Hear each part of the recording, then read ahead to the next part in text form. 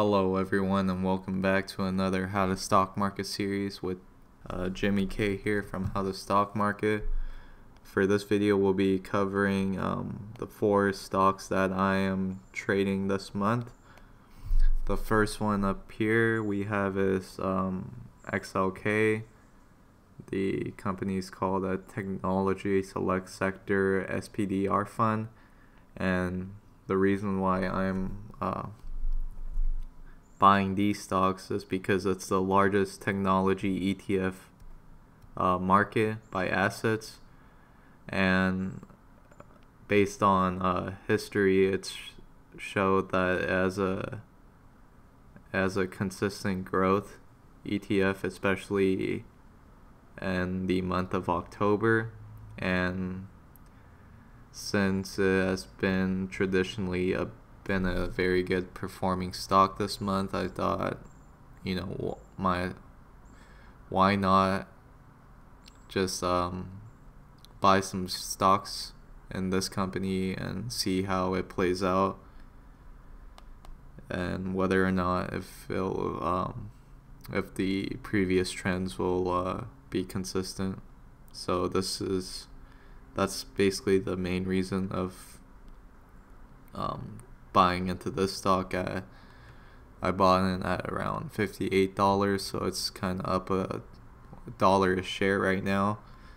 At the same time though the current price per share of the of this stock is at uh, 59 to 60 dollars which is quite expensive for you know small cap investors or traders to get into.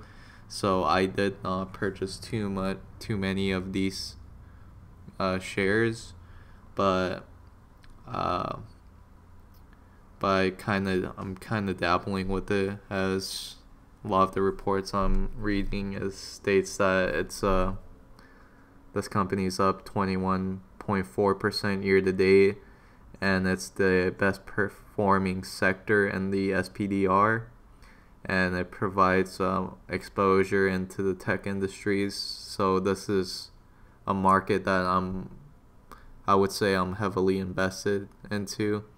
And you know if I'm heavily invested into any of the other tech stocks then why wouldn't I be also invested in the largest performing ETF sector in technology? So I thought this would be a great opportunity for me to get into the space and um, see how well this stock performs in October of this month. And once again, if this uh, if the trend doesn't play out as how I'm predicting, then I can always uh, sell out of it and um, transition my assets into a market that I see being more profitable in that uh, in that one month window. So by no means is this like a guarantee for any of these stocks. Are these uh, guarantee hold for a month strategies? But a lot of it's based on uh, how I value each specific company and um, see how it overall plays out in the market. So yeah I wouldn't say to hold it at no at uh, any cost because that could be a poor strategy and it's better to just uh, get out and cut losses quickly rather than to hold and hope for a bounce back in the market or any of that uh, sort of nature. So that's the first uh, company that I am currently uh, invested in or trading right now. Another uh, stock that I'm looking at is uh, AMD Advanced Micro Devices. It's currently consolidating at the 1270 range, as we can see here by these multiple uh, uh, multiple resistance and support levels within this uh, window from the 10 to around $15 range. So I'm kind of trading in those lines right now. Currently, it's priced at uh, 12.71. That was the closing price, and the the aftermarket price dropped a little bit to 1266 so that's where it's at right now and this once again this is a stock that I'm fairly bullish on going from a long long-term projection of this company. I can see it breaking past 15 if they continue on to their current business model and uh, work hard and constantly release these new products that you know give a lot of hype to the sector. And at the same time it is a chipset you know technology based uh, semiconductor company and therefore because of the market of technology right now I, that's why i'm fairly bullish on this stock and just the price per value of each stock is uh, at a price which i'm pretty interested in, and I can see a lot of uh, long term uh, consistency and benefits and uh, overall uh, large increase within the market for this company. Um, with that being said, however, the past couple of months has been fairly slow for this stock it has been um, showing quite a bit of uh, swing swing trades and dip buys that appear to be like a profitable opportunity. And for me it has been working fairly well from that perspective to uh, swing trade the stock and to not to hold and um, cut losses quickly gain profits quickly and then look into another market to constantly uh, be up to date on and uh, read their uh, earning reports and their conference calls and listening to their conference calls is what I do on the spare time while I'm trading in this stock. So this is an uh, another uh, company that I'm trading right now currently. Another one is uh, AAPL, also known as Apple. It's very big tech company. I'm pretty sure most of you all know uh, this company or what it's about. But, you know, recently they're on a swing right now, as we can see here from this graph. So, from last summer, or not last summer, but this July to this June, it's been um, on a very consistent dip. As we can see here, it's not um, straight lining down towards the support level, but it's kind of uh, swinging up, cycling up and down until we heat, hit this uh, support level at around the low 90s. And recently we've been seeing the stock um, rise up and up gradually. So the uh, main reason why I'm buying into this stock right now is because of their uh, new iPhone 10 release, which uh, which many people think that there's a lot of value in that product and there's has been a lot of good news about it um, from their previous launch of their iPhone 8 so which is a very good news. And even with the uh, disaster of of what was um, iPhone 8 So even with the iPhone 8 uh, discussions and how that influenced the stock of this company, um, it didn't do too much, and I wouldn't say the dip was anything significant uh, based on uh, based on their business models and all that such.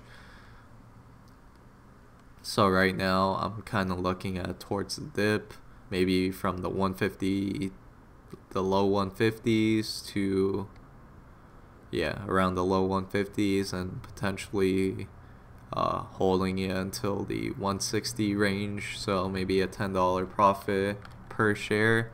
And thus I would also receive a 10% increase based on how much I invested in this company.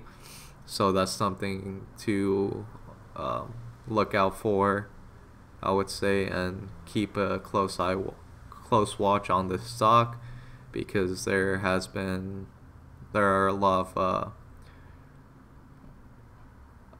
there has been a lot of uh, news with this company on various product launches and their partnerships with other you know tech companies which may uh, provide you know growth and revenue for this company moving forwards.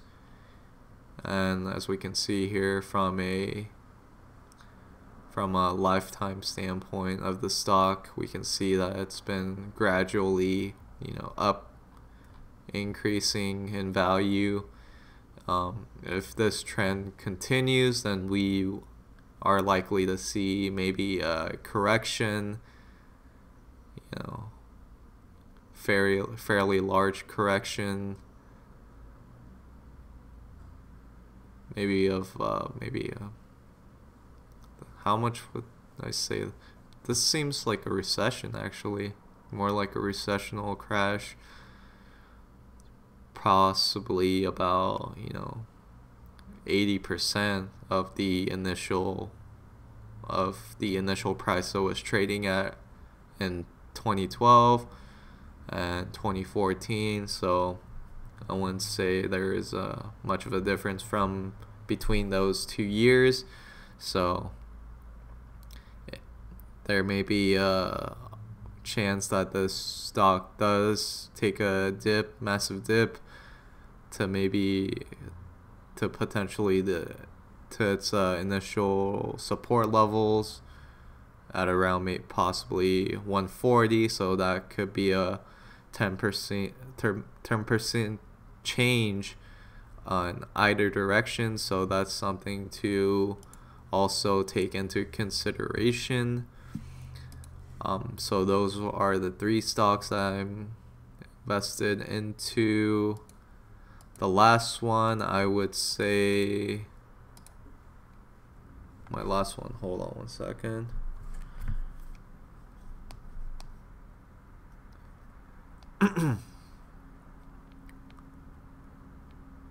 My last one would honestly have to be Alibaba. Since this company does uh, has been fairly profitable recently with its uh, new business updates and how well it has been doing in providing uh, smaller businesses the opportunity to sell a different range of products. So, and I'm currently still on the Apple. Or wait, Shopify is also a good one, but I would say their um, the valuation's pretty high right now. Even with Alibaba, it's pretty high, but they're also a global e-commerce uh, retailer and it's currently on a dip here as we can see dropped from the 165 to almost $10 down to 153 so it is currently on a dip. Will it be a massive dip like the previous support resistance levels as it's shown in here? And honestly it could be right? Because it's been within that uh, time frame of which you know these uh, spikes and consolidations occur after uh, about a couple of years or so. So I would say that this right now would be a perfect uh, dip buying or swing trading opportunity. Um, unless if you enjoy um, are confident and have the patience for it to bounce all the way back up to the uh, 165 range. I would say this is a good uh, company to look into in terms of profitability, profitability and getting the most rewards on your investments. At the same time, this isn't a very complicated business model and it's still fairly new and it's current on the market and a lot of people have been venturing in towards these this type of opportunity. It gives more opportunity to, to people to start their own businesses and this company has been very profitable recently, especially with the attention that it's received from uh, other various entrepreneurs who promote this type of uh, business models when to other uh, newer entrepreneurs. So i would say this is a very interesting market to look into. For me i this is more of a safe investment for me and i don't really see much uh,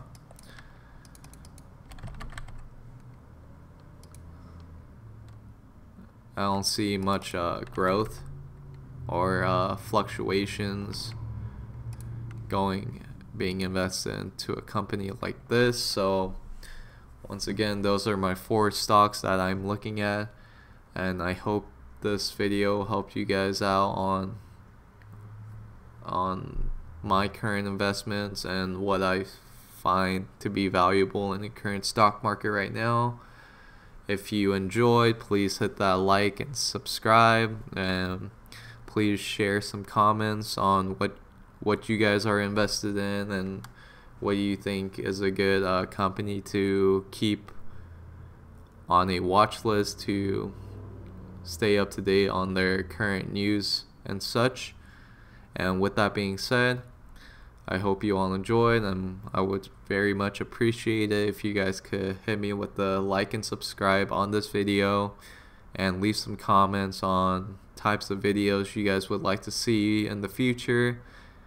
And thanks once again for tuning in to the series on me trying to educate uh, newer investors and traders and how to be profitable in the stock market.